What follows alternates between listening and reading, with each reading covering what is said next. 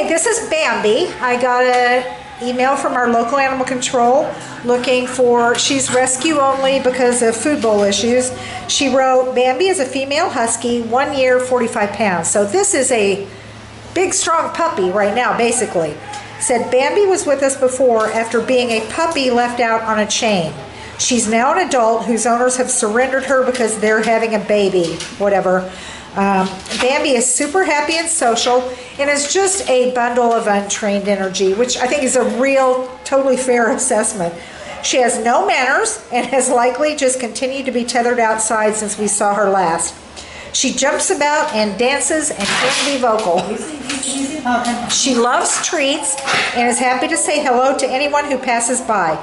Very playful with other dogs, but can be a little forward and likely has no manners with other dogs either. So poor Bambi, she's just been locked out. She seems like a really happy dog. She seems like a nice dog.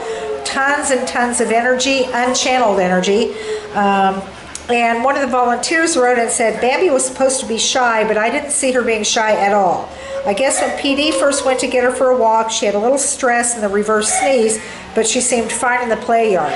Um, Leela, who owns a kennel, said the same thing about her maybe having like a little brief panic attack when you first meet her, but um, I think she was pretty okay coming out of the pike other than being a little twisty, right, Beth?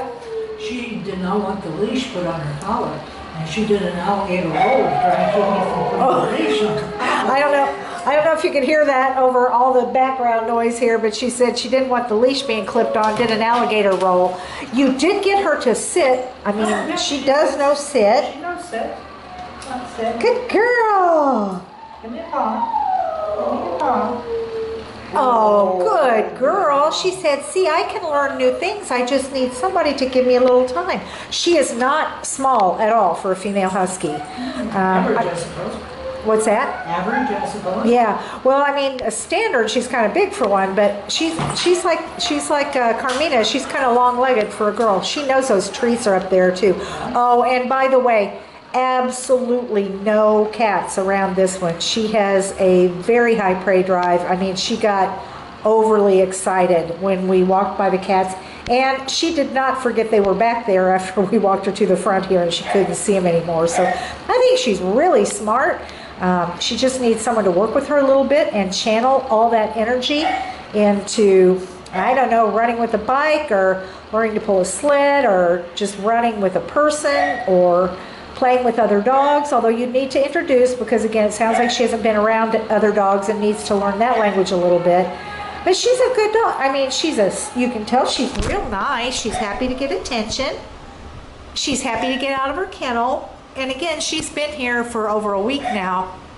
So her last, of course, they let him out during the day, but her last big play day or stimulation was a week ago when she got her own playtime and a walk down by the river.